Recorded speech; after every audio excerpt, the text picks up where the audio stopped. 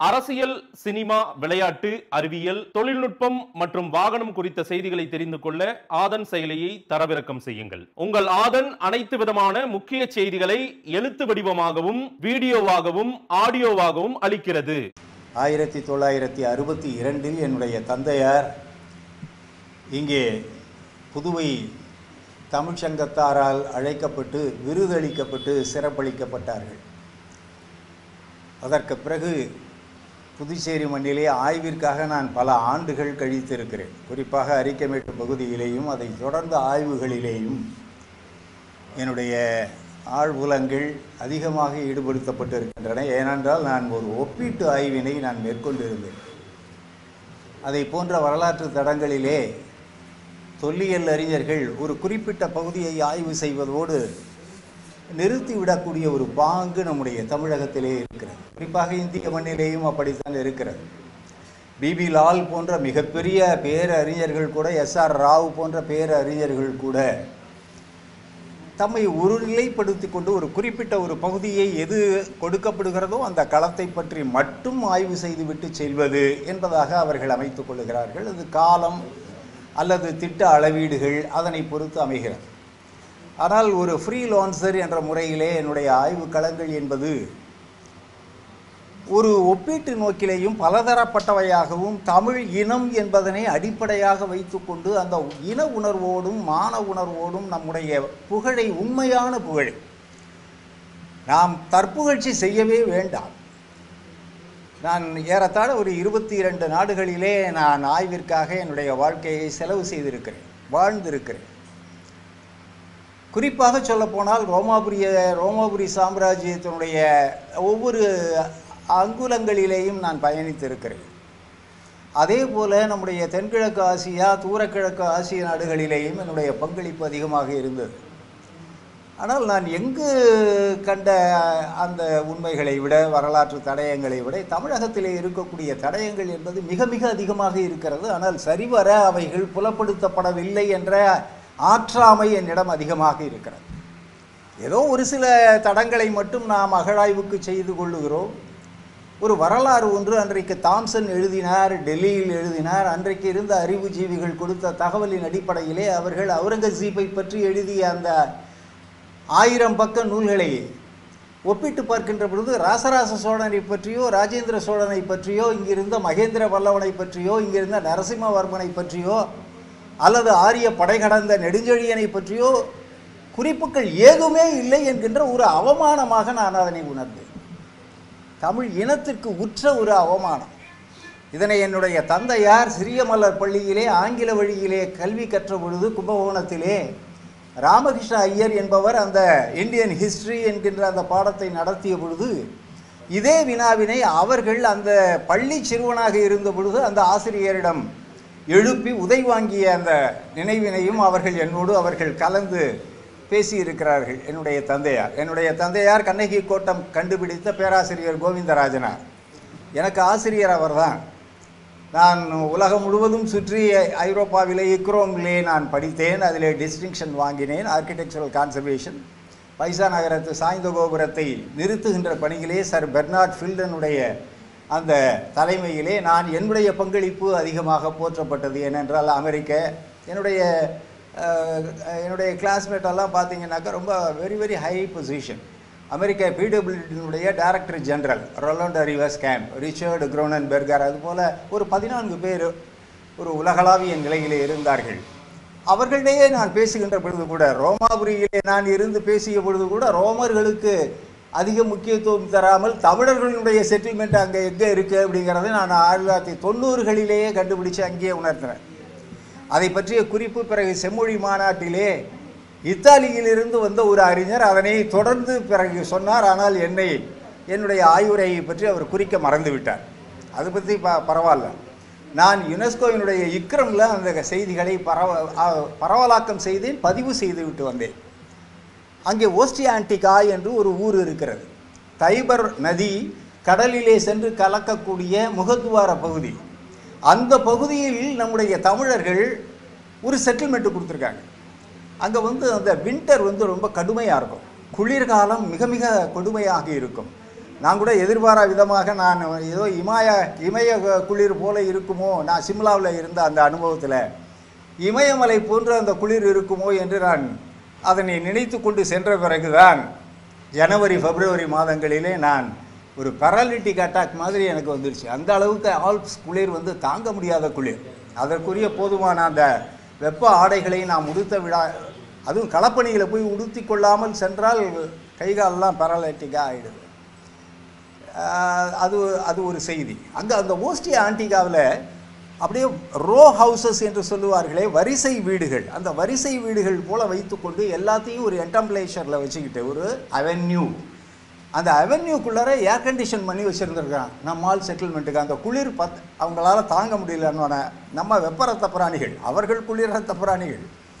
வெப்பரத்தமாக நமக்கு வந்து அவ்வளோ குளிர் தாங்காது. உடனே போர்வையை போத்திக்குவோம் எல்லாம் பண்ணுவோம். அப்போ நம்ம மக்கள் இங்கிருந்து சென்ற நானாதேசிகள் இங்கிருந்து சென்ற ஆயிரத்து ஐநூற்றுவர் குழு அங்கே இருந்து வணிகத்தின் பொரு- பொருட்டு அங்கே தங்கல் செய்கின்ற பொழுது சுடுமண் குழாய்களை சுவர்களிலே பதித்து அதிலே வெப்ப நீர் ஓட்டத்தினை ஏற்படுத்தி கொண்டு அந்த கதகதப்பிலே அவர்கள் வாழ்ந்தமையை நான் கண்டு அங்கே பதிவு செய்தேன். அங்கே ராசராசனுடைய காசு கிடைத்ததாக பிறகு அந்த இத்தாலிய அறிஞர் நம்முடைய செம்மொழி மாநாட்டிலே சொன்னார். அந்த காசினையும் அவர் அந்த புகைப்பட சான்றாக காட்டினார். அங்கிருந்த சில தமிழ் குறியீடுகளையும் அவர்கள் காட்டினார்கள். யாங்கனுக்கு கிடைக்கல. ஏன்னா அந்த குளிரில் என்னால் வந்து அதிக நேரம் அங்கே செலவு பண்ண முடியல. ஏன்னா அந்த சுடுமண் ஓடுகளெல்லாம் வந்து அந்த குழாய்கள்லாம் உடஞ்சி இருந்துச்சு. அப்போ ஓஸ்டியா ஆண்டிகாவில் போய் செட்டில்மெண்ட் கொடுத்து அங்கேயே ட்ரேட் கம்யூனிட்டியாக இருந்த ஒரு வணிக மரபினர் தமிழகத்தார் குறிப்பாக இந்த சுண்ணாம்பு ஆற்று கரையிலே இருக்கக்கூடிய நம்முடைய கிளிஞ்சல் ஆறுன்னு சொல்கிறீங்களோ சுண்ணாம்பு ஆறுன்னு சொல்கிறீங்களோ ரெண்டு விதமாகவும் சொல்கிறாங்க அரிக்கமேட்டு பகுதியிலிருந்து சென்றவர்களாக இருக்கலாம். அல்லது கொற்கையிலிருந்து சென்றவர்களாக இருக்கலாம். கொற்கை மறைந்த பிறகு காயல்பட்டினத்திலிருந்து சென்றவர்களாக இருக்கலாம். ஆனால் தமிழர்கள் தம்மோடு தமிழை எடுத்து சென்றவர்கள் தமிழர்களின் பண்பாட்டு கூறுகளை எடுத்து சென்றவர்கள் மேலை நாடு குறிப்பாக ரோம் இன்றைக்கு இருக்கக்கூடிய இத்தாலி. இத்தாலியினுடைய தைபர் ஆற்றங்கரையிலே அவர்கள் கழிமுக பிரதேசத்திலே தமக்கென ஒரு குடியிருப்பினை அந்த வணிக மையமாக அந்த போர்ட் அந்த துறைமுக பகுதியிலே அமைத்து கொண்டு வாழ்ந்திருக்கிறார்களே. அதை பற்றி நாம் பறக்க பேச வேண்டாமா? பதிவு செய்ய வேண்டாமா?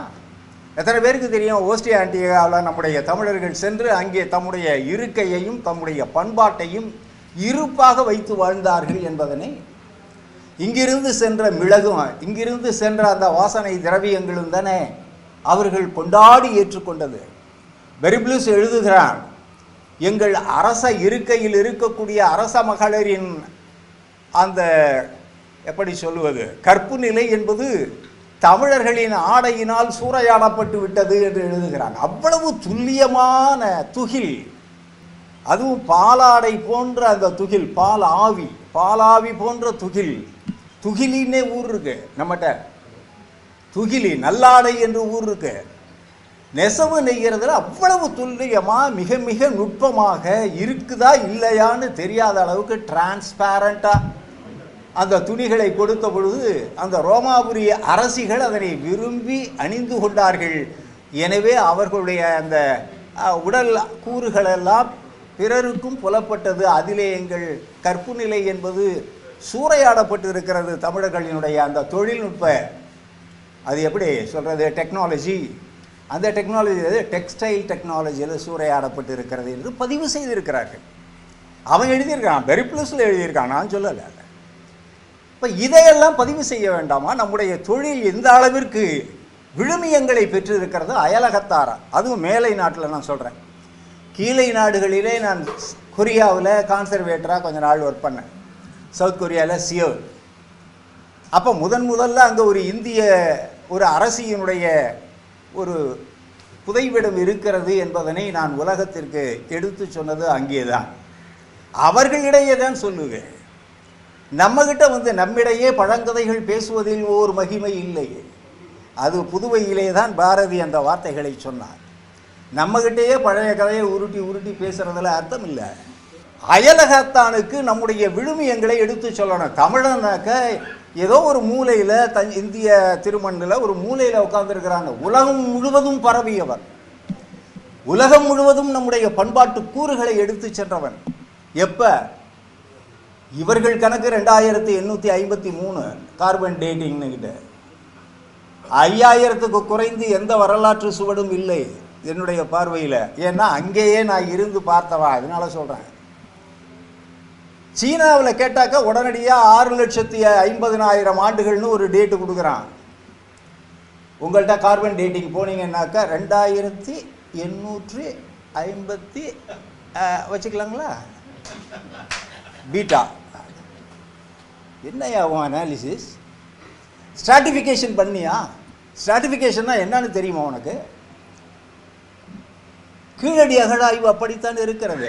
எனக்கு காலில் ஒரு ஆப்ரேஷன் கொஞ்ச நாளாக எனக்கு கொஞ்சம் சரியாக நடக்க முடியல. அதோடு என்னுடைய ஆர்வலர்கள் தஞ்சையிலிருந்து அது பார்த்தே தீரணுங்கிறாங்க. ஒவ்வொரு எக்ஸ்கவேஷனுக்கும் இப்போ இந்த வயசில் என்னை கூப்பிட்றாங்க. நான் போய்கிட்டு தான் இருக்கேன். ஆயிரத்தி நானூறு கிலோமீட்டர் ஒரே நாளில் பயணம் பண்ணிட்டு வந்து படுத்த மூணு நாள் எந்திரிக்க முடியல. மனசில் இருக்கிற வலிமை உடம்புல இல்லை இப்போ. ஏன்னா சிவகலையில் புதுசாக செப்பு பாத்திரங்கள் கிடைத்து விட்டனன்னு சொல்கிறேன் எப்படி தஞ்சாவூரில் நான் உட்காந்துருக்க முடியும்? ரிட்டையர்மெண்ட்டில் நான் வந்து பென்ஷன் வாங்குறேன் சந்தோஷமாக இருக்கிறேன். என் மனைவி வேளா வேலைக்கு எனக்கு வந்து நல்ல சாப்பாடு கொடுத்துக்கிட்டு இருக்கா. இதோ இருக்கார் நண்பர் அவருக்கு தெரியும். உண்டு கொழுத்து இருக்க வேண்டியது தானேனாக்கா நண்டு வலையில் தங்க. ஏன்னா இந்த நண்டினுடைய நோக்கம் என்னுடைய விழுமியங்களை உலகம் அறிய செய்ய வேண்டும் பதிவு செய்யணும். சரியான பதிவு இதுவரைக்கும் இல்லை. இந்த கண்ணகியை பற்றி இன்றைக்கு நாம் பேசிக்கொண்டு இருக்கிறோமே இன்றைய வரைக்கும் என்ன ஸ்டெப் எடுத்தோம்? அப்பா வந்து ஆயிரத்தி தொள்ளாயிரத்தி முப்பத்தி ஒம்போதில் கடலுக்குள்ளார இடுப்பில் கைத்த கட்டிக்கிட்டு பூம்புகார் உண்மைதானான்னு விபுலானந்த சாமி சொன்னாங்களே அப்படின்னு முழுகி மூர்க்கத்தனமான ஆராய்ச்சி. ரோமன் பிரிக்கு கிடைக்குது.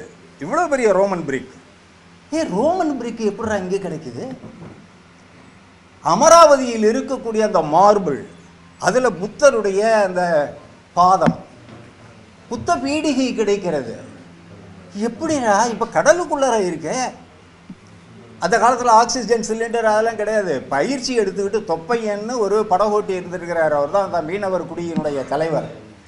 அவர்கிட்ட அந்த காலத்தில் ஐம்பது ரூபா கொடுத்துட்டு அவரை ஏமாற்றி எனக்கு கற்றுக் கொடு அப்படின்னு சொல்லி முழுகி அந்த காலத்தில் முழுகி எடுத்து அது உண்மைதான். பூம்புகார் இருந்தது உண்மைதான்.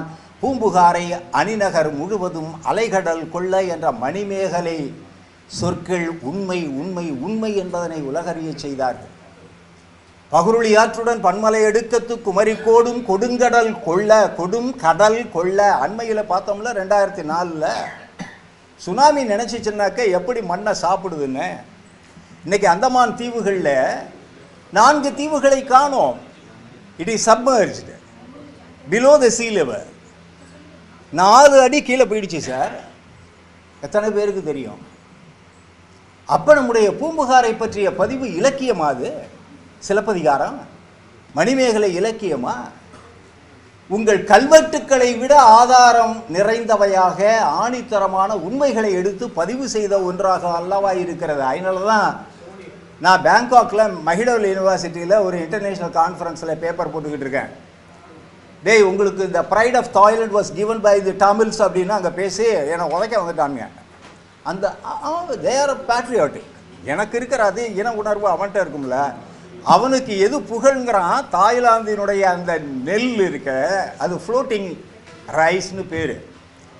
வெள்ளத்தனைய மலர் நீட்ட மாந்தர்தம் உள்ளத்தனையை நம்ம படிக்கிறோமே வெள்ளத்து அணைய அது வளரும். அது மானாவாரி நெல் அந்த மானாவாரி நெல் என்னன்னாக்கா அந்த ஜூலை மாதத்தில் தென்மேற்கு பருவக்காற்றில் அந்த மழை பொழிகின்ற பொழுது குண்டு குழின்னு சொல்லுவாங்க. தென்ன நம்ம தென்னார்காடு மாவட்டத்துல எல்லாம் குண்டு குழி. எங்கள் சித் சித்தப்பா வீட்டுக்கு வர்றப்போ அவர் பண்ணைக்கெல்லாம் நான் போயிருக்கேன். அந்தராசிப்பேட்டைன்னெல்லாம் இருக்குது பக்கத்தாப்பில். அங்கே பார்த்தீங்கன்னாக்க ஏ ஏய் மழை பெய்துட்டு இருக்கா நேற்றுக்கு மழை பெய்து தண்ணி நிற்கிதாடா நிற்கிது ஏய் இந்த கதை நெல்லை எடுத்துக்கிட்டு போய் தெளிங்கடா அப்படிங்குவார். ஓடி போய் தெளிப்பானுங்க. அடுத்த மழை பெய்யும் அடுத்த மழை பெய்யும். அது நாற்று முளைச்சி முளைச்சி தாழ் நீண்டு நீண்டு நீண்டு பதினெண்டு அடி பதினஞ்சு அடி மேலே வந்து நிற்கும் காய்க்கும். பூக்கும் காய்க்கும். நம்ம ஆளுங்க அதில் நீந்தி போய் அறுத்துக்கிட்டு வந்துடுறாங்க. அவன் தாய்லாண்டில் என்ன பண்ணுறான்னா போட்டில் போய் அறுவடை பண்ணுறான் நானே போய் போட்டில் கொஞ்சம் அறுவடை பண்ணேன். ஒரு தாய்லாண்டில் போய் ஆராய்ச்சி பண்ண பொழுது அங்கே தமிழர்களுடைய தடயங்கள் எப்படி இருக்கின்றன? அங்கே எப்படி தடம் பதித்து வந்திருக்கிறார்? இதெல்லாம் நம்ம பார்த்துட்டு தான் வந்தோம். அந்த ப்ரைடுக்கு யாரா நெல் வித நெல் கொடுத்தவன்னு தேடுறேன் இப்போ. அப்போ நான் பார்க்குறேன் வேதாரண்யம் பகுதியிலேயும் இந்த தென்னார்காடு மாவட்டத்திலையும் பார்த்தீங்கன்னா வித நெல் இங்கே சாதாரணமாக அதை மானாவாரியாக செய்கிறான் அதுக்கு பேர் ரொம்ப அழகான பேர் நம்ம ஆளுங்க வச்சுக்கிட்டு இருக்காங்க. கிராமத்தில் இருக்கிற அழகான சொற்கள். இன்னும் சிதைவில் கற்றவர்கள் தான் ஏமாற்றி கொண்டு இருக்கிறோம் கல்லாதவர்கள் சிலவற்றை மிக மிக நன்றாக பாதுகாத்து வைத்திருக்கிறார்கள். அவர்கள் சொல்லுகிறார்கள் அந்த நெல்லின் பெயர் என்ன தெரியுமா? மடுமுழுங்கின்னு சொல்கிறான் நம்ம ஆளுங்க மலை முழுங்கிக்கிட்டு இருக்கான். அது வேற விஷயம். இது மடுமுழுங்கி என்று சொல்கிறான் மடு எவ்வளவு ஆழமாக இருந்தாலும் அது முளைத்து மேலே வந்து காய்த்து உனக்கு பயன் தரும். அதற்கு ஏற்ற நெல் வகை எது? எனக்கு தெரிஞ்சு நம்மாழ்வாரோடு நான் பயணித்த காலங்களிலே ஆயிரத்தி ஐநூற்றி இருபது நெல் வகைகளை தமிழகம் கொண்டிருந்ததே. இன்னைக்கு மாப்பிள சம்பா மாப்பிள சம்பா கவுடி அரிசி இதை தானே பேசிக்கிட்டு இருக்கோம். ஆயிரத்தி ஐநூறு எங்கே போச்சு? எனக்கு தெரிஞ்சு. அதுக்கு மேலே எவ்வளவோ எனக்கு தெரியாது. அதில் ஒன்றும் மடமுழிங்க. அப்போ அந்த நெல்லினுடைய அந்த மூல விதைகளை யார் தந்திருக்கக்கூடும் யார் தந்திருப்பார்கள்? ஏன்னா அவர்களுக்கு தொடர்பு சீனத்திலையும் இருக்கு. சீனாவினோடு அவர்கள் தொடர்பு அதிகமாக இருக்கிறது. அவங்க வந்து இனமே வந்து மேங்கலோயிடு. மங்கோலிய இனத்தின் வம்சாவளியிலே கிளைத்தவர்கள். துளிர்த்தவர்கள் அல்ல கிளைத்தவர்கள். அது ஒரு கிளை நேரு அது தாய்லாந்து மக்கள். அவனுடைய அந்த ஒலி அமைப்பு அவனுடைய மொழி அமைப்பு அவற்றை ஒப்பீடு செய்யணும். அப்போ பன்முகப்பட்ட ஆய்வு இல்லை என்றால் அந்த ஆய்வு செழிக்காது. வெறும் தமிழ் இலக்கியத்தை மட்டும் வைத்து பார்ப்பதல்ல தமிழ் கல்வெட்டுக்களை மட்டும் வைத்து பார்ப்பதல்ல தமிழர்களின் தொல்லியலை பற்றி மட்டும் சிந்திப்பதல்ல கடலியல் தெரிய வேண்டும் வானியல் தெரிய வேண்டும் நிலவியல் தெரிய வேண்டும். வேளாண்மையில் தெரிய வேண்டும். எல்லாவற்றையும் தெரிந்து வைத்து கொண்டு போனால்தான் அது வந்து டான் டான் டான் டான்னு புரியும். பார்க்கின்ற பொழுது த ப்ரைட் ஆஃப் தாய்லாந்து அந்த மடுமுழுங்கி நெல் அங்கே அவர்களுக்கு த ப்ரைட் ஆஃப் தாய்லாண்ட் அந்த தாய்லாந்தினுடைய தலை சிறந்த ஒரு பெருமை என்று அவர்கள் கொண்டாடி கொள்ளுகிறார்கள் நான் தேடின பொழுது அங்கே நம்முடைய திருநாங்கூர் கேள்விப்பட்டிருப்பீங்க. வைத்தீஸ்வரன் கோயிலுக்கு நேர் கிழக்க. அந்த திருநாங்கூர் பகுதியில் இருக்கக்கூடிய ஐநூற்றுவர் என்கின்ற வணிக குழுவினர் அங்கே தாய்லாண்டில் போய் தங்கி இருக்கிறதுக்கு இங்கே நமக்கு சில குறிப்புகள் கிடைக்குது. இது சரிதானா? இது உண்மைதானா என்பதை வெரிஃபை பண்ணும்ல. நான் தற்புகழ்ச்சியாக சொல்லிக்கிட்டு இருந்தேன். நான் அங்கே போனேன் இங்கே போனேன். சரி அவன் எதிரி சொல்கிறானா அங்கே போய் பார்க்கணும்ல அவன் நாட்டில். அவன் சைய நாட்டில் நம்முடைய வணிகக்குழு வணிகம் செய்தது ரைட்டு சைய நாடு என்பது எது வரைக்கும் அவன் சொல்கிறான் இன்றைக்கு செய்கோன் அப்படின்னு நம்ம சொல்லிக்கிறோம் அது வியட்நாம். வியட்நாம்னு வந்துருச்சு அடுத்தது கம்போடியா. இந்த பக்கம் பார்த்தீங்கன்னா லாவோஸ். லாவோஸுக்கு அடுத்தது மேற்க வந்தோம்னாக்கா தாய்லாண்டு தாய்லாண்டுக்கு அடுத்தது பர்மா வந்துடுது பர்மா வந்துருச்சுனாக்கா இந்தியன் டெரிட்டரி வந்துடுது தரை வழியாக நம்முடைய ராஜேந்திர சோழன் பயணித்த தரை வழியும் கடல் மார்க்கமும் நமக்கு ரெண்டும் கிடைக்குது. ரைட் தரை வழியும் நமக்கு பழக்கம் இருக்கிறது. கடல் வழியும் நமக்கு பழக்க பழக்கம் இருக்கிறது என்ற நிலையில் இந்த அடிப்படையின் ஆதாரங்களை வைத்துக்கொண்டு நான் அங்கே தேடிய பொழுது அங்கே நம்முடைய பேங்காக் இன்றைக்கு இருக்குது அந்த பேங்காக்குக்கு அங்கே இருக்கக்கூடிய நேட்டிவோடு கலந்து பேசுகிறேன் இது வந்து it's so happen in nineteen eighty eight எண்பத்தி எட்டில் அங்கே இருக்கக்கூடிய கிராமங்களில் போய் தங்கினேன். டவுனில் இருந்தாக்க இந்த செய்தி கிடைக்காது. எனக்கு மிகச்சிறந்த ஆகச்சிறந்த ஒரு நண்பர் இருந்தார். உலகின் மிகப்பெரிய கவிஞன். மிகப்பெரிய கவிஞன். உமா விஜயானி என்று இருந்தான். மோன்ட்ரி உமா விஜயானி. அது என்ன மோன்ட்ரி? மந்திரி. அந்த அரச குடும்பத்துக்கு மந்திரி அவன் ப்ரொஃபஸர் கெசாட்சாட் யூனிவர்சிட்டியினுடைய ஃபைன் ஆர்ட்ஸ் டீனு எனக்கு மிக நெருங்கிய நண்பன் உலகின் மகாகவி. உயிருக்கு ஊதியம் எது? ஈதல் இசைபட வாழ்தல். அது அல்லது ஊதியம் இல்லை உயிர்க்கு. வள்ளுவனை விட யாரை எவனும் சொல்ல முடியாது அந்த மாதிரி. உலகத்தில் எந்த இலக்கியத்தை வேணாலும் எடுத்து பாருங்க. எடுத்து பாருங்க. நான் சேலஞ்ச் பண்ணுறேன் வள்ளுவர் திருக்குறளை விஞ்சிய ஒரு இலக்கிய படைப்பு மக்களின் நலவாழ்விற்காக படைக்கப்பட்டிருக்கக்கூடிய ஒரு இலக்கிய பதிவு. உலக வரலாற்றில் எந்த மொழியில் இருக்கு?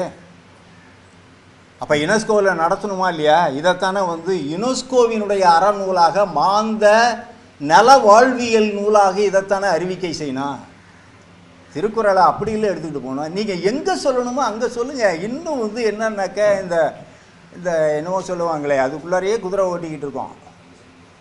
இது எனக்கு என்னமோ அது வந்து ஏற்பு இல்லை. அது ஒரு தடங்கல்னு தான் நான் நினைக்கிறேன். நம்முடைய பார்வை இங்கே இந்த மண்ணில் இருந்து தானே பாரதிதாசன் சொன்னார். அறிவை விரிவு செய். பார்வையை அகண்டு பாரு. தூரத்தில் போய்கிட்டே நீ குண்டு சட்டிக்குள்ளாரையே இன்னும் நிற்காத தமிழ்நாடு பாண்டிச்சேரி இல்லை மிஞ்சி போணுச்சுனாக்கா தென்னிந்தியா அப்புறம் இந்தியா அங்கே போய் முட்டிக்கிட்டு நிற்க வேண்டியது. எது? உன் பார்வை உலகளாவியில் இருக்கணும். அந்த அளவுக்குள்ள நம்ம ஆள் நம்ம அப்பன் நம்ம பாட்டன் பூட்டன்லாம் பண்ணி வச்சிருக்கிறான். சரியான முறையில் எடுத்து சொல்லுவதற்கு கூட நமக்கு இன்னும் திறப்பாடு வரவில்லை. செல்வத்தில் நாம் வளர்ந்து கொண்டு இருக்கிறோம் வறுமை ஒன்றும் அதிகம் இல்லை. விடுதலை பெற்ற பொழுது இருந்த வறுமையா இருக்கு இன்னைக்கு? அன்றைக்கு இருந்த கொடுமைகள் இருக்கா? பராங்குசனார் போன்றவர்கள் உடனடியாக வந்து களத்தில் நின்னாங்களா இல்லையா? நின்றுகிட்டு இருக்கிறதுக்கு இன்னும் தோழர்களை எல்லாம் உருவாக்கிட்டு தானே போயிருக்காரு. அதே போல் அங்கங்கே அங்கங்கே அங்கங்கே போராளிகள் களப்போராளிகள் எதற்கும் அஞ்சா நெறிகள் நம்மகிட்ட அறிவு இருக்கு. தேவையான அளவுக்கு ஆற்றல் இருக்கு. அன்னைக்கு சிவபெருமான் ஒருத்தன் தான் நஞ்சுண்டா கண்டனா இருந்தான். இன்னைக்கு நம்ம எல்லாம் டெய்லி மூணு வேளை நஞ்சு தானே சாப்பிட்றோம். அதானே மேனு அதானே உங்களுக்கு ஃபர்டிலைசர் பெஸ்டிசைட்ஸ் தண்ணி எல்லாம் க எ- எல்லாத்தையும் கராட் பண்ணி வச்சுருக்கோம் கரெக்ட் பண்ணி வச்சுருக்கிறோம். இருந்தாலும் வாழ்ந்து கொண்டிருக்கிறோம் என்றால் இந்த விதை எவ்வளவு வீரியமான விதை? நம்ம பாட்டம் பூட்டனுக்குள்ள சொல்லணும் நன்றி. அந்த காலத்தில் சார் முதல் காப்பிய இலக்கியம் என்பது சிலப்பதிகாரமும் மணிமேகலையும் தவிர வேற எங்கே சார் இருக்கு? சொல்லுங்கள் சார். இலியட் ஒடிசி? கிரேக்கத்தில் இருக்கிறது. அவன் பெருசாக கொண்டாடுறானே. அதில் என்ன சமாச்சாரம் இருக்குன்னு பேராசிரியர் சம்பத் அவர்கள் இந்த இருக்கிறார் சொல்கிறாங்க என்ன இருக்கு அதில்? அமானுஷ்யங்கள். மானுடத்திற்கு தொடர்பில்லாத செய்திகள். புராணத்தை விட கேவலமாக இருக்கு. விழுந்து விழுந்து படித்தேன் ஏதாவது ஒரு சில பகுதியாவது நமக்கு அது கிடைக்காதா நமக்கு மக்கள் தொடர்பாக மக்களை பற்றி மக்களின் நலவாழ்வை பற்றி சிந்தித்தவன் முதல் காப்பிய தலைவனாக சிலப்பதிகார ஆசிரியன் தென் தமிழகத்தை சார்ந்தவன். குடவாயில் கோயிற்று கோட்டத்து அரசு துறந்திருந்த குடக்கோ சேரல் இளங்கோ அவன் தானே சிந்திக்கிறான். அவனுக்கு உற்ற தோழனாக அடிகள் நீரே அருளுக என்று பர்மிஷன் கொடுத்த சீத்தலை சாத்தனார் மணிமேகலை. அந்த மணிமேகலையும் சி- அந்த சிலப்பதிகாரத்தையும் ரெண்டு வேறு வேறு ஆசிரியர்கள் எழுதினார்கள். ஒருத்தன் இளங்கோ இன்னொருத்தன் சீத்தலை சாத்தன். அறிவு திறத்திலேயும் காப்பிய புனைவு செய்யக்கூடிய இலக்கிய திறப்பாட்டிலேயும் எந்த அளவுக்கு ஆளுமை இருக்கணும்? ஏறத்தாழ உங்கள் கணக்குப்படி நான் வச்சுக்கிறேன். உங்கள் கணக்கு இப்போ இருக்கிற இந்த கிபி கிமுவை வச்சுக்கிட்டு நம்மளை அதையே நம்ம தொல்லியல் வ- வல்லுனர்கள்லாம் பிடிச்சிக்கிட்டு என்னமோ பண்ணிக்கிட்டு இருக்காங்க. அதை நான் மறந்துடுறேன். எப்படியா இருந்தாலும் கிறித்து பிறந்த ஆண்டு அப்படிங்கிறத ஒரு பெஞ்ச் மார்க்காக நீங்கள் வச்சுக்கிட்டு ரெண்டாயிரம் வருஷம்னு சொன்னீங்கன்னாக்கா ரெண்டாயிரம் வருஷத்துக்கு முன்னாடி அப்படி ஒரு சிந்தனை இருந்துச்சுல்ல? மக்களின் நலவாழ்வு ஒரு சாதாரண குடிமகள் கண்ணகி கற்பினால் உயர்ந்து நிற்கிறாள். உரைசால் பத்தினிக்கு உயர்ந்தோர் ஏத்துதல் அரசியல் படைத்தோர்க்கு அறம் கூற்றாகணும். ஊழ்வினை உறுத்து வந்து ஊட்டும். மக்களை பற்றி மட்டுமே பேசுகிறான் அரசுகளை பற்றி மட்டுமே பேசுகிறான் முதல் இலக்கியம். உலகத்திலேயே முதல் இலக்கியத்தை கொண்டிருக்கக்கூடிய தமிழ். அதற்கு வரலாற்று சான்று கண்ணகி கோயில் சேரன் செங்குட்டுவன் எடுத்த கண்ணகி கோயில் இருக்கிறது. அண்ணன் கற்கோயில் எடுக்கிறான். தம்பி சொற்கோயில் எடுக்கிறான். சார் உலகத்தில் வேற எந்த நாகரிகத்தில் இது போல ஒரு பதிவு இருக்கு சார்? இது தடம் இல்லையா? கீழடியில் போய் நோண்டி இந்த இந்த உங்களுக்கு என்னன்னு புரியாத பானை ஓட்டை மட்டும் காட்டினாக்கா சரியாக புரியுதா? எல்லாருக்கும் புரியுமா? அது எங்களை மாதிரி ஆளுங்க அதுக்குன்னே நாங்கள் பழகி வந்துட்டோம். அதை வச்சுக்கிட்டு நாங்கள் சில கான்ஸ்டியூட் பண்ணி மேலே மேலே போகிறோம் அது ஸ்காலர்லி ஒர்க் பப்ளிக்கு கொண்டு போய் சேர்க்க வேண்டிய கடமையை எந்த அரசு செய்திருக்கிறது அல்லது எந்த கல்வியாளன் செய்திருக்கிறான் வருத்தங்கள் ரொம்ப இருக்கு. தடங்கல்கள் நம்மக்கிட்ட தான் இருக்கு. தடங்கள் வந்து எதிரி அப்போ தீ- நன்மையும் தீமையும் யாரும் வந்து தரதில்லை புறநானூற்று புலவன் சொல்லுகிறார். யாரோ வந்து செய்கிறதில்லை. நமக்கு நாமே நாமே தடங்கலாக இருக்கின்ற பொழுது என்ன செய்வீங்க? ஒரு கீழடி இன்னைக்கு தானே வந்திருக்குது. அதுவும் வைகை கரையில். சரி பொன்னி நதி கரையை ஏன் மறந்து போனீர்கள்? ஆயிரத்தி தொள்ளாயிரத்தி எண்பத்தி மூணு தெய்வநாயகத்தின் தலைமையில் ஒரு முந்நூறு பிள்ளைகள். குறை கிணறு இது மாதிரி ஆயிரம் கொண்டுக்கிட்டு போய் தமிழ் பல்கலைக்கழகத்தில் சேர்த்தனே. ஏன் பதிவு இல்லை? ஆ, அதை செஞ்சால் அவனுக்கு ஏதாவது அடிஷ்னல் இதுதானே திருச்சுற்று திருச்செற்று தீயுழி உய்த்து விடும். அதோட தமிழும் தானே சேர்ந்து புழுங்குது. அவனுக்கு அந்த புகழ் போயிடக்கூடாது. போய் பாருங்கள் இன்றைக்கு தமிழ் பல்கலைக்கழக அருங்காட்சியகம் அரண்மனை வளாகத்தில் அவ்வளவு பெரிய முதுமக்கள் தாழிகள் அதில் இருந்த கலன்கள் உரை கிணறுகள் எத்தனை வேணும் உங்களுக்கு? இப்போ இப்போ சொல்லுங்கள் எக்ஸ்கவேஷன் எங்கே போகணும்னு நான் சொல்கிறேன் யார் தடை? யார் தடங்கள் ஒரு ஸ்காலர்லி ஒரு அரங்கு இது. இதில் சொல்கிறேன் கட்ஸோட. பொன்னி நதிக்கரியை கரையை விடவா பழமை மிக்கது எதுவும்? பண்டையர்கள் பாண்டியர்கள். அப்போ பாண்டேயை கொண்டாந்து இணைச்சிக்கிறான். உடனே பாண்டே அதைத்தான் நோக்குறான ஒழிய டேய் நீ பண்டையன் என்பதற்கு என்னடா நீ சொல்கிற கீழடியில் பதினாறாம் நூற்றாண்டு சுவடு கிடைச்சிருக்கு. அதுக்கு என்ன பதில் உனக்கு? வேர்லேஷ் நான் இந்த காலில் க இது ஆப்ரேஷன் பண்ணுறதுக்கு முன்னாடி அந்த என்ஜினியர்ஸ் ஒரு இருபத்தஞ்சி பேர் வந்துட்டாங்க. ஒரு பத்து காரில் போகிறோம் ஏன்னா மறுநாள் வந்து அ- அகழாய்வு அந்த இதை பகுதியை மூட போகிறாங்கன்னு சொல்லிட்டு தவிக்கிறாங்க பொறியாளர்கள். எந்த அளவுக்கு இந்த காலத்து இளைஞர்கள் மீது எனக்கு மிகுந்த நம்பிக்கை இருக்கிறது? அவன்கிட்ட அந்த உ- உணர்வு இருக்கு. அவனை சரியான நெறிப்படுத்தி ஆற்றுப்படுத்துவதற்கு சரியான தலைமை எங்கே இருக்கிறது? இப்போ கீழடியை பற்றி நாம் சிந்திக்கின்றோம். அதிலே நமக்கு ஒரு குறிப்பிட்ட பழமை ஒன்று கிடைத்திருக்கிறது. அது வைகை நதிக்கரையில் இருந்த ஒரு நாகரீகத்தினுடைய சுவடு. நான் பொன்னி பொன்னியினுடைய ஆற்றங்கரையினுடைய நாகரீக சுவட்டை பற்றி ஏற்கனவே சொல்லிவிட்டேன். அதிலே தமிழ் பல்கலைக்கழகம் ஆயிரத்தி தொள்ளாயிரத்தி எண்பத்தி மூன்றுகளிலேயே முடித்தது. அதை பற்றி பரவலாக்கம் நடந்ததா? இல்லை. எங்கள் கடமை? எடுத்து எக்ஸ்போஸ் பண்ணி தருவோம். அதுக்கு மேலே செய்ய வேண்டியது இன்னொரு விங்கு செஞ்சுச்சா? செய்யலை. செய்யலைன்னாக்கா போ. என்னால் இவ்வளோதான் முடியும். தாமிரபரணி ஆற்றங்கரையிலே இன்றைக்கு சிவகலை கொற்கையிலேயே நாங்கள் சுற்றிக்கிட்டு இருப்போம். கொற்கை காயல் கொற்கை காயல்னுக்கிட்டு மாரமங்கலத்து பக்கம் கூட சிந்திக்காமல் இருந்தோம். அது என்னடா மாரமங்கலம்? சிந்திக்க வேணாமா? பெரும்படையூர் என்று அருகாமையிலே இருக்கு. கொற்கைக்கு அருகாமையில் இருக்கக்கூடிய சின்ன சின்ன கிராமங்களில் போய் இருந்து பார்க்கணும். சும்மா காரில் போயிட்டு காரில் நீங்கள் திரும்பி வர்றது மாதிரி இருந்துச்சுனாக்கா அது ஆய்வு முழுமையாகாது. அங்கே தங்கணும். அந்த மக்களோடு ரெண்டு வேளை மூணு வேளை சாப்பிட்ணும். அவன் குடிக்கிற கஞ்சியை வாங்கி குடிக்கணும் அவன் கூட வாழ்ந்தாதான் அங்கே என்ன இருக்குங்கிறது தெரியும். நான் ஒரு ஆராய்ச்சியாளர் நான் கேப்பு போட்டுக்குவேன் கூலிங் கிளாஸ் போட்டுக்குவேன் ஓப்பன் சைட்டுக்கு போவேன். இதெல்லாம் ஒன்றும் பருப்பு ஆகுதுங்க. களப்பணி அதுவும் தொல்லியல்ல ஆர்கியாலஜிக்கல் எப்படி செய்யணும்னு சார் மார்டிமர் வீலர் எப்படியெல்லாம் நமக்கு சொல்லி கொடுத்துட்டு போனானுங்க? ஆதிச்சநல்லூரில் தானே முதன் முதல்ல எக்ஸ்கவேஷன் ஆயிரத்தி தொள்ளாயிரத்தி ஒன்றில் தொடங்குறான். அன்னைக்கு தானே சர்வே ஆஃப் இந்தியா தமிழ்நாட்டில் ப்ராப்பராக முனிசிபாலிட்டியில எல்லாம் சர்வே பண்ணுறான் nineteen O one first survey அப்போ தான் உங்களுக்கு லே அவுட் எல்லாம் கொடுக்குது முனிசிபாலிட்டிக்கு சொல்லி கொடுத்தவன் அவன். பிரிட்டிஷ் பிரிட்டிஷ் சிஸ்டம் இங்கே. அவன் ஆளுநராக இருந்து செய்த பொழுது எங்கே தொடங்கணும்னாக்கா எக்ஸ்கவேஷன் அதுக்கு முன்னாடி ஒருத்தன் ஜெர்மன்காரன் ஒருத்தன் வந்து ஆதிசநல்லூரில் தோண்டி விட்டான். தோண்டுனா ஏ என்னடா it's much older than our Grecian urn என்று அவன் சொல்கிறான் கிரேக்க முதுமக்கள் தாழியை விட பழமையான தாழி ஆதிச்சநல்லூரில் இருக்கிறது என்பதை உலகறியச் செய்து தன்னுடைய மொழியிலே பதிவு செய்தவன் ஒரு ஜெர்மானியன்.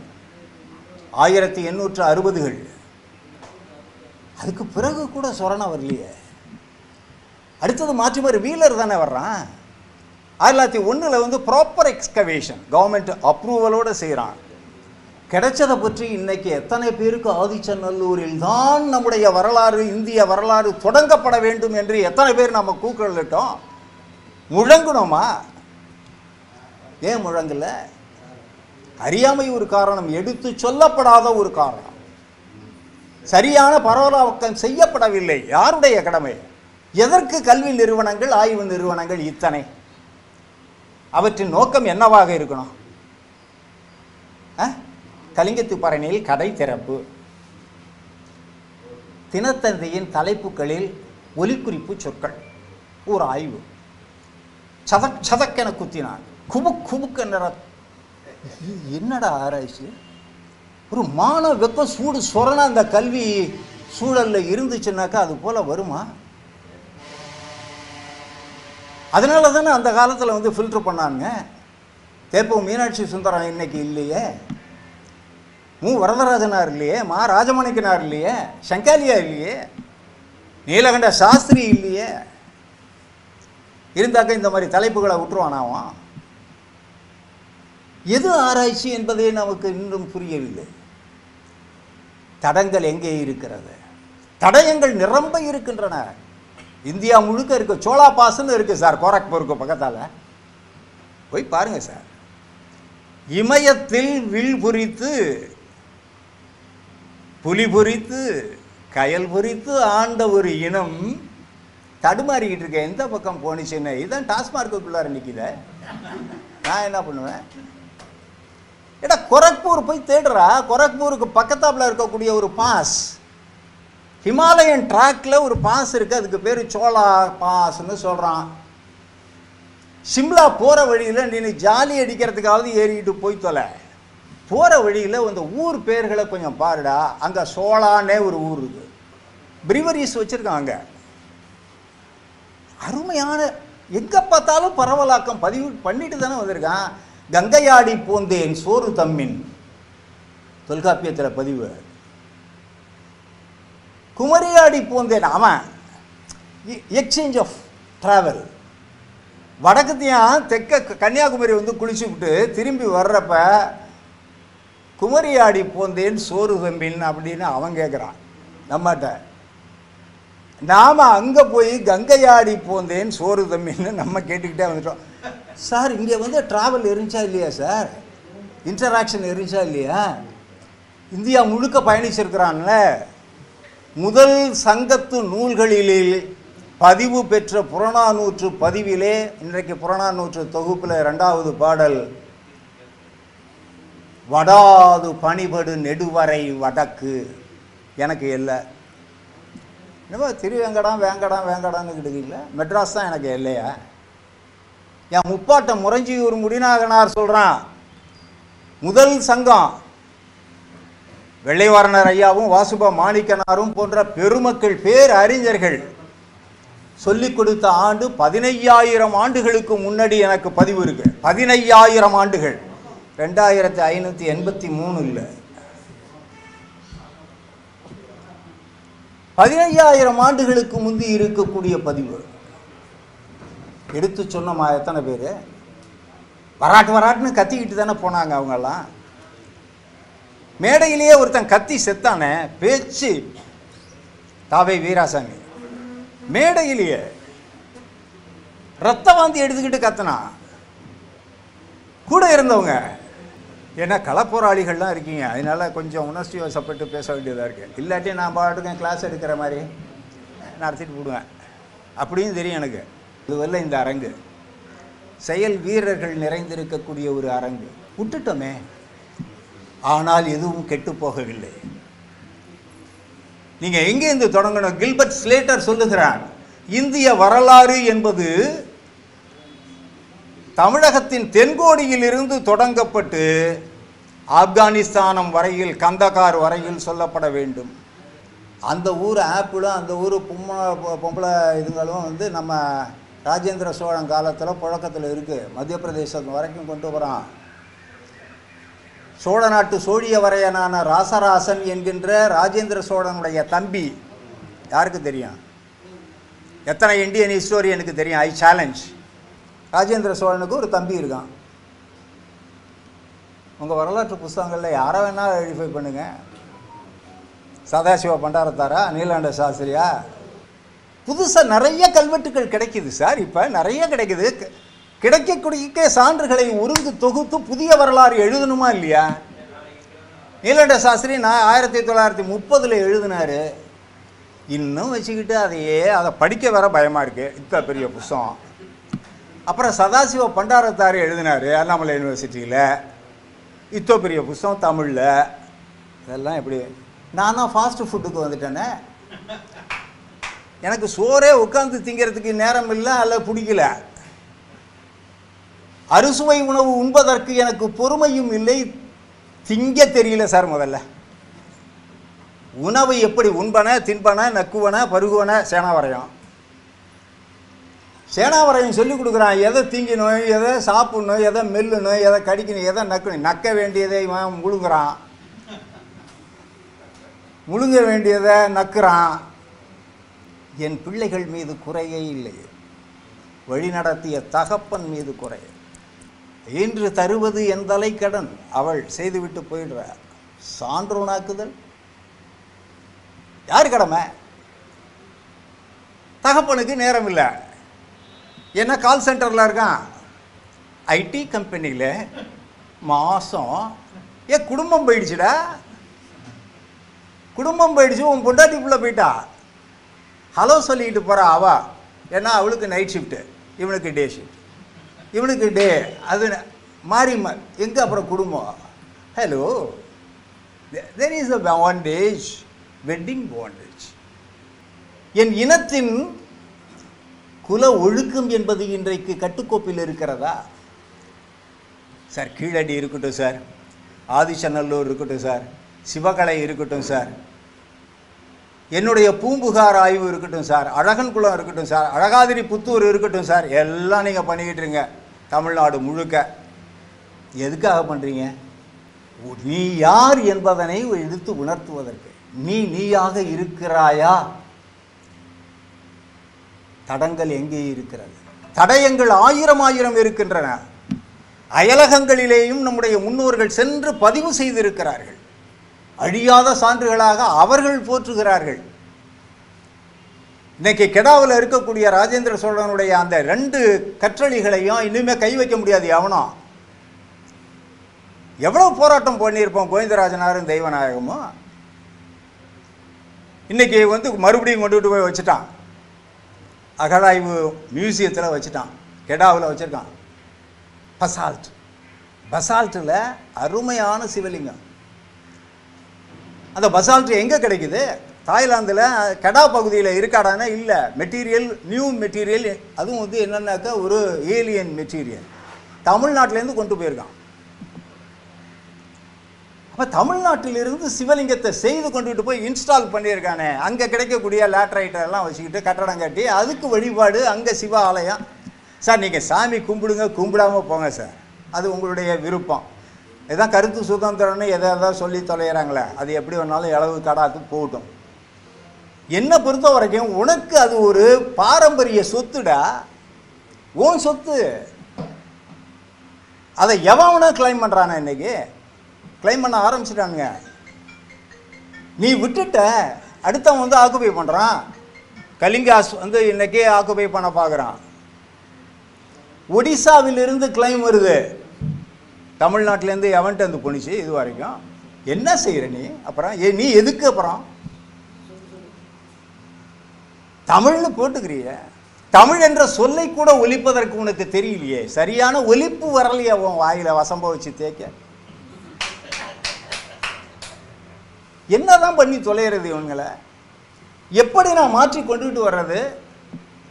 பிள்ளைகள் ஆர்வமாக உடையாடுறான் ஆர்வமாக வருகிறார்கள். ஆனால் இளங்கல்வியிலே இருந்த அந்த பழமையின் பதிவுகளை நாம் நீக்கிவிட்டோமே கல்வி சீர்திருத்தம் என்ற பெயரில்? யாருடைய தவறு அது? யார் இடம் கொடுத்தோம்? தடங்கள் எங்கே இருக்கிறது? தடயங்கள் நிறைய இருக்கு இங்கே. இங்கே தமிழங்கிட்ட இல்லாதது திருக்குறள் எதற்கும் இடம் தரும் விடுவிடு என்று மனோன்மணியம் சுந்தரம் பிள்ளை ஒரு இடத்துல சொல்லுவார் அதுபோல் தமிழங்கிட்ட இல்லாத சொத்துங்கிறது மரபு செல்வங்கள் என்பது உலகத்திலே எவன்ட்டியும் இல்லை. நான் சேலஞ்ச் பண்ணுறேன் எவனை வேணாலும் பேச சொல்லுங்கள் எந்த மொழியில்? ஆங்கில மொழியில். வேற பிற மொழி தெரியாது எனக்கு. ஆங்கிலத்தில் பேச சொல்லுங்கள் இருக்கணும். அதுதான் தாத்பரியம். அதுதான் இந்திய சித்தாந்தம். அதுதான் தமிழனுடைய அடிப்படை அறம். அறவாழ்வு அறக்கல்வியை நான் பெற்று வந்தேன். என் பேரப்பிள்ளைகளுக்கு அறக்கல்வி கிடைக்கிறதா? அவன் யார் என்பதனை ஊட்டுவதற்கு சரியான சொற்களை பயன்கொள்வதற்கு நம்மவர்கள் இருக்கிறார்களா? அந்தந்த இன்ஸ்டன்ட்டுக்கு மட்டும் நான் அப்படியே அப்படியே அப்படியே அப்படியே ஸ்கிப் பண்ணி உணர்ச்சிகரமாக எடுத்துச் சொல்வதற்கு இன்றைக்கு ஆசிரியர்கள் ஆத்திச்சூடி கொன்றை வேந்தனை இழந்து போனோம் என்றால் அறக்கல்வியை இழந்து போனோம். அறஞ்செய விரும்பு. ஆறுவது சினம். அன்னைக்கு டீச்சர் சொல்லி கொடுத்ததா? அப்படியே பொட்டில் அரைஞ்ச மாதிரி இன்னும் பதவி இருக்க. இன்னைக்கு அரஞ்சய இரும்பு இரும்பு வச்சுக்கிட்டு ராவு. கீழடியை பற்றி எப்படி நாம் அப்புறம் பேசுகிறது எனக்கு ஒன்றும் புரியல அது. நம்ம பிள்ளைகள்கிட்ட எப்படி கொண்டு போய் சேர்க்கறது? டே இந்தடா உன் சொ- சொத்து. காப்பா அரவாணம் எழுதினாரு. தமிழா இந்தா உன் சொத்துன்னு ஒரு புஸ்தகமே போட்டார்? சென்றடையிலையே சொத்தை வாங்கிக்கிறதுக்கு கூட நம்ம பிள்ளைகளை நம்ம தயார் பண்ணலையே சார். அந்த அளவுக்கா நம்ம பெரிய எல்லாம் பில் கேட்ஸாக மாறிட்டானுங்க. அமெரிக்கா அமெரிக்கான்னு சொல்லிக்கிட்டு. அமெரிக்காவுக்கு போனால் போதுமா? அமெரிக்காவினுடைய வரலாறு இரநூறு வருஷம் தானே சார். சார் உனக்கு வரலாறு ரெண்டு லட்சம் ஆண்டுகளுக்கு குறையாம இருக்குது. திருவக்கரை அருகாமையில் இருக்குது ஃபாசில்ஸு ஃபாசில் லேண்ட் பக்கத்தாப்புலேயே இருக்குது திருவக்கரை. அங்கே வந்து இன்னொரு நீங்கள் அந்த கல் மரம் பார்த்துருப்பீங்க. அங்கே ஒரு பொருள் ஒன்று விற்பாங்க. அங்கே இருக்க நொமேடிக் பீப்புள் கொஞ்ச காலம் வரைக்கும் நான் வந்திருக்கேன் ஆரம்ப காலங்களில். அங்கே என்னன்னாக்கா இந்த இவ்வளோ பெருசுக்கு ஒன்று வச்சுக்கிட்டு பஸ்ஸில் நம்ம காரில் போனோம்னாக்கா சாமியா சாமியா இந்த நான் இருக்கும் நரிக்கொம்பு வாங்கிக்க சாமியா. நரிக்கொம்பு வாங்கிக்க சாமிங்குவான் நரிக்கொம்பு? நரியை நானும் எத்தனையோ நரி பார்த்துருக்கேன். இது என்னடா நரிக்கொம்பு விற்கிறானேன்னு அப்பயே எனக்கு காலமாக ஆக அந்த ஜியாலஜியை தேடி தேடி படிக்கின்ற பொழுது தான் அது என்னன்னு தெரியுது. அறுநூற்று ஐம்பது லட்சம் ஆண்டுகளுக்கு முன்னர் இந்த பகுதியில் இருந்த கடலில் வாழ்ந்த கடல் உயிரி இன்றைக்கு கல் படிவமாக மாறியிருக்கிறது.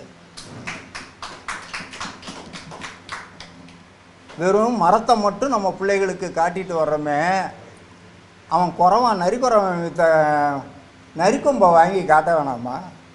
அட நரிக்கொம்புண்டாவது சொல்லி காட்ட வேணாமா?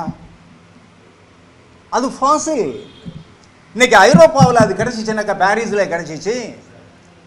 இல்லை இங்கிலாண்டில் கிடச்சிச்சு. சைனாவில் கிடச்சிச்சு. ஒரு பீஸுக்கு எவ்வளோ விலை விற்பான்? இவன் இப்போ என்னென்ன இப்போ கொஞ்சம் அவர்களுக்கெல்லாம் கல்வி கொடுத்த பிறகு பாம்பே டெல்லியில் போய் கல்கட்டாவில் அதை விற்றுக்கிட்டு இருக்காங்க. இங்கே விற்கிறது இல்லை இப்போ. இந்த மக்களுக்கு இது தெரியாது இது அருமைன்னு. அவன் வெளியில் போய் விற்கிறான் 50000 வரைக்கும் விற்கிறான் ஒரு பீஸ். ஒரு பீஸ் 50000 ரூபாய்க்கு விற்கிறான் நாங்கள் அந்த காலத்தில் அவங்களுக்கு என்னன்னு தெரியாத காலத்தில் ஒரு கைப்பிடி அளவுக்கு அதை எடுத்துக்கிட்டு போட்டோம் அதனால் ஒன்று ரெண்டு மிச்சம் மீதி வச்சுருக்கேன் நான். அது ஃபாசில் எக்ஸ்பர்ட் பேலியன்டாலஜிஸ்ட் அவனை கன்சல்ட் பண்ணோம்.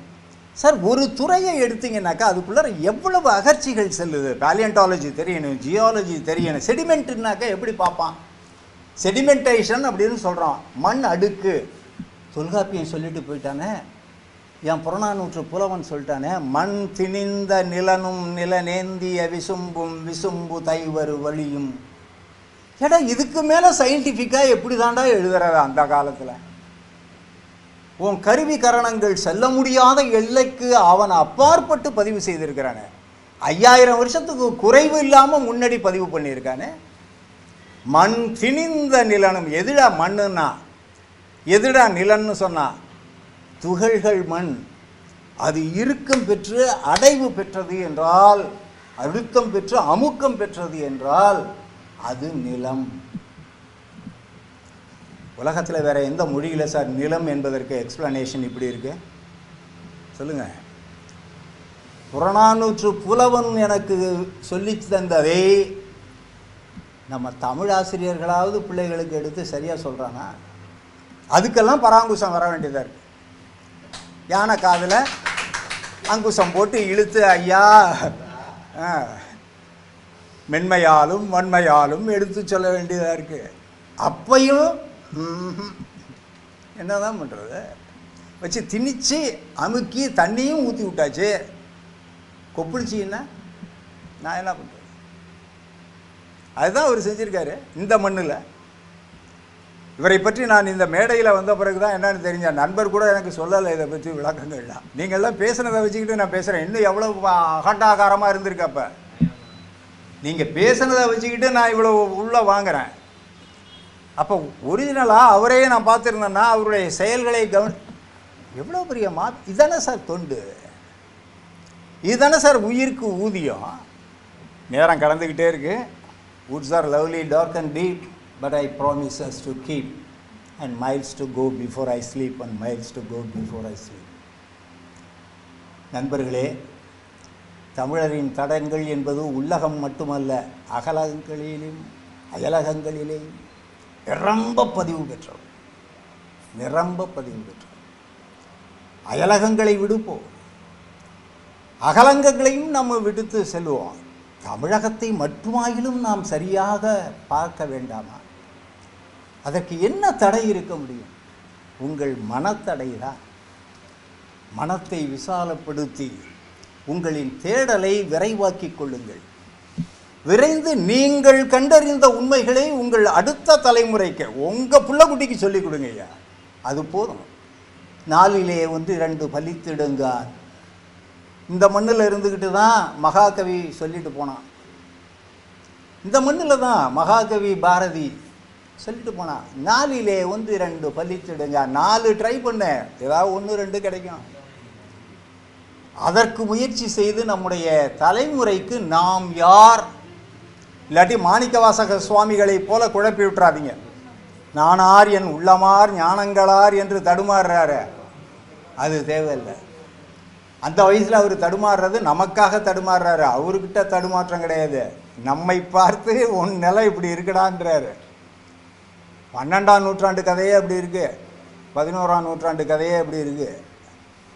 சேக்கடாற்றே அந்த புலம்பல் இருக்குது அதனால் இருபத்தி ஓராம் நூற்றாண்டில் வாழ்ந்து கொண்டிருக்கிறோம். எல்லாம் நமக்கு எல்லோரும் எல்லாமும் பெற வேண்டும் என்கின்ற ஒரு அடிப்படை நமக்கு ஓரளவு கிடைக்க ஆரம்பிச்சிருச்சு. எதற்கும் தடை இல்லை. ஆனால் தடையில்லாத நிலையில் கூட மனத்தை தடைப்படுத்தி கொண்டு சிறைப்படுத்தி கொள்வது என்பது நம்முடைய இயலாமை என்பதை மட்டும் நம்மவர்கள் சற்று உணர்ந்து அடுத்த தலைமுறைக்கு நம்முடைய கடமை என்ன என்பது சொத்து சேர்த்து வைக்கிறது இல்லை சார். சொத்து சேர்த்து வைக்கிறது இல்லை சார். சொத்துங்கிறது என்னன்னாக்கா அவன் அவனாக இருக்கணும் சார். முகவரியை தொலைத்து விட்டு அலைந்து கொண்டிருக்கக்கூடிய அனாதை தமிழர்களைத்தான் நான் இன்று ஆப்பிரிக்காவிலிருந்தும் ஐரோப்பிய தேசங்களிலிருந்தும் மலேசிய திருநாட்டிலிருந்தும் கூட பெற்றுக்கொண்டோம். எண்பத்தி மூன்று முதலாக தமிழ் பல்கலைக்கழகம் அயலகங்களில் வாழ்ந்து முகவரியை தொலைத்து விட்டு சரியாக தமிழ் பேச தெரியாமல் ஆனால் நான் யார்? என்னுடைய மொழி எது? என்னுடைய உணவு எது? நான் உணவு எப்படி சாப்பிட வேண்டும் என்றெல்லாம் கேட்டுக்கொண்டு வந்தவர்களுக்கு மருதாணி போட்டு விடுறது உள்பட நாங்கள் செஞ்சுக்கிட்டு இருந்தோம். எங்கள் வேலையெல்லாம் பாருங்கள் தொல்லியல் அறிஞர்கள். மருதாணி ஏன் போடணும்? ஏன் பொம்மநாட்டி குறிப்பாக போடணும்? இதெல்லாம் அவனுக்கு சொல்லி ஆப்பிரிக்க தமிழர்கள் அதுக்காக கோடிக்கணக்கில் செலவு பண்ணிக்கிட்டு தமிழ் யூனிவர்சிட்டியில் வந்து இருபத்தி ஒரு நாள் பயிற்சி முப்பத்தி ஆறு நாட்கள் பயிற்சி எடுத்தாங்களா இல்லையா? இங்கே பேராசிரியர்கள் இருக்காங்க சான்று. விஐ சுப்பிரமணியம் சார் அதுக்கு ஏற்பாடு பண்ணார். முதல்ல கூட நான் நினச்சேன் இது என்னடா வெட்டி வேலை? ஒரு ஆய்வாளனை போய் என்னமோ மருதானியை பற்றி பேசு என்ன எண்ணெய் தேய்ச்சி முழுவதை பற்றி பேசுன்னு இருக்கு என்ன இது? அப்படின்றலாம் ஒரு சுணக்கம் இருந்துச்சு. ஆனால் இப்போ தான் தெரியுது அது கூட தெரியாதவனாக அவன் வருகிறான். எப்படி உட்காந்து சாப்பிடணும்? ஸ்பைனல் கார்டு எப்படி இருக்கணும்? நேராக நம்ம சாம்பார் ரசம் மோர் அதுக்கு கூட்டு பொரியல் வறுகல் மசியல் துவையல் எல்லாத்தையும் வச்சுக்கிட்டு சாப்பிட்றவன் வெஸ்டர்ன் டாய்லெட்டில் போய் ட்ராப்பிங்காக பண்ணுவான். இவன் சிட்டிங் தானே போய் ஆகணும்? டேய் அப்போ உன் இன்டெஸ்டைன் எப்படி ஒர்க் பண்ணும்? அப்போ அனாட்டமி தெரியணும். நம்ம பெரியவங்க எப்படி சொன்னாங்க? சம்மணம் போட்டு சம்மணம் போட்டு இடது கையை மடியில் வச்சுக்கணும் தரையில் ஊனக்கூடாது. ஒரு கையால் சாப்பிடணும். வடக்க போயிட்டீங்கன்னாக்கா பிச்சு சாப்பிடலாம். மேலை நாடுகளுக்கு போயிட்டீங்கன்னா கடிப்பான். லப்பு லப்புன்னு உளுந்து கடிப்பான். என்ன அருமையான உணவு. உணவு கலையில் கூட நம்மை அடிச்சுக்கிறதுக்கு எவனுமே இல்லையே. பாவிப்பயனம் இப்படி இழந்துட்டு நிற்கிதே இந்த சொத்தை நம்முடைய பிள்ளைகள்கிட்ட இந்த தடங்களை நீக்கி தடயங்களை காட்டி அவர்களை தமிழர்களாக வாழ வைக்க வேண்டிய கடமை நமக்கு இருக்கிறது. அதற்கு ஒரு களமாக ஒரு ஆய்வு களமாக இந்த உரையாற்றுவதற்கு இந்த வாய்ப்பினை அளித்த ராதே அறக்கட்டளை. நம்முடைய பாண்டிச்சேரி பண்பாட்டு ஆய்வு நிறுவனம் மற்றும் வரலாற்று தேடல் குழு இருக்கிறார்களே அவர்களுக்கு நான் என்னுடைய தலைவணங்கிய வணக்கங்களை செலுத்தி கொண்டு வேண்டுதலாக வைக்கிறேன். நம்மால் முடிஞ்ச வரைக்கும் செய்வோம். எல்லாரும் செய்வான்னு எதிர்பார்க்கக்கூடாது ஆனால் சொல்லுவது என்னுடைய கடமை. நீ ஏற்றுக்கொள்வாயா? ஏற்று I never my you go ahead. If you own you take it and spread it but for the welfare of our own younger generation என் இனம் வாழணும். என் மொழி வாழணும். அதனால தான் தேப்பம் மீனாட்சி சுந்தரம் பிள்ளை அடிக்கடி சொல்லுவார்கள் தமிழ் இனம் வாழ்ந்தால் தமிழ் மொழி வாழும். தமிழ் மொழி எப்போ வாழும்? தமிழ் மொழி வாழ்க. அதுவும் வாழ்கன்னு சொல்கிறதுக்கு எவனுக்கும் இல்லைப்பா வாழ்க அப்படின்னு வால் வச்சுக்கிட்டு போகிறான் ஹோமோசாப்பியனாவே இருக்கான். ஹோமோசாப்பியனாக இருந்துட்டு போகிறான் எனக்கு என்னுடைய இளைய தலைமுறையை பற்றிய சிந்தனை தான் இந்த அரங்கிலே வந்தது. உங்களோடு பகிர்ந்து கொண்டேன். நன்றி வணக்கம் வணக்கம்.